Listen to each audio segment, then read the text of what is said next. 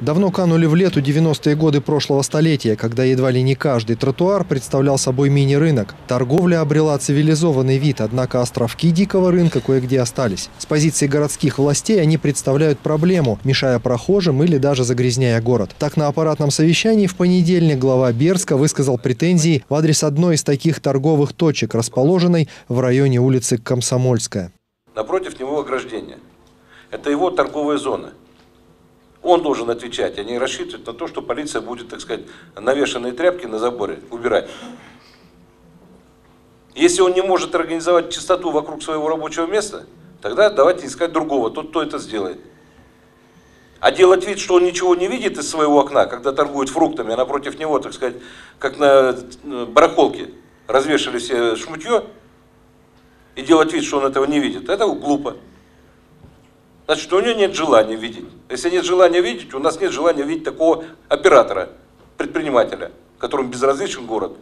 Принимать суровые меры к нерадивым и несанкционированным торговцам городская власть грозится уже давно. Например, еще в июне первый заместитель главы Александр Тужик предложил применить в Бердске-Новосибирский опыт, конфискуя товар.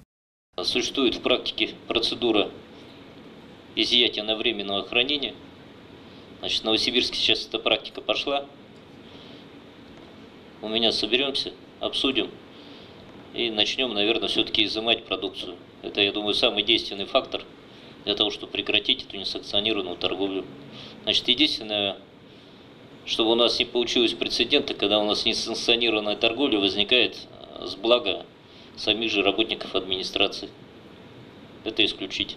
Такая мера, по мнению вице-мэра, должна заставить торговцев задуматься над тем, как поскорее перейти в правовое поле, при том, что запрещать уличную торговлю вроде бы пока никто не собирается. Пока что городская администрация регулярно проводит рейды, выявляя места несанкционированной торговли. Но дальше обсуждения на еженедельной планерке у главы дело не идет. Если не считать, что в конце августа Евгений Шестернин поручил Управлению экономического развития подготовить специальное совещание. Будет ли разговор предметным, а главное, какие действия Действия последуют потом, посмотрим.